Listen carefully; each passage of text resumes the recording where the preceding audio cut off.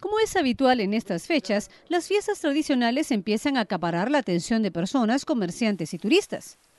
Tal es el caso de los barriletes de Zumpango en Chimaltenango, los cuales se elevan al cielo desde los 3 hasta los 22 metros de diámetro.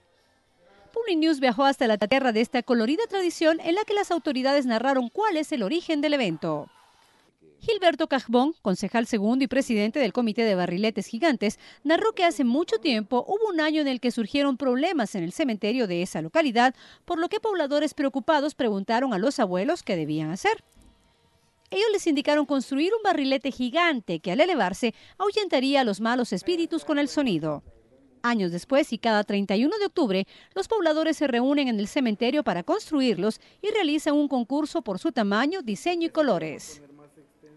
Cajbón indicó que el festival, que también incluye comida y actividades de convivencia familiar, fomenta educación y formación en los jóvenes ante los hechos de violencia que se viven en el país. Para este año se esperan alrededor de 250 mil visitantes.